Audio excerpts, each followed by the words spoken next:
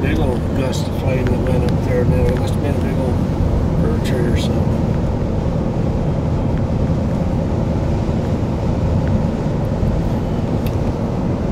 I don't think I've ever seen fires in June. Have you, Elaine? Look at this color though, this Huh? cloud. I don't know. I remember we had one Frontier Days up here.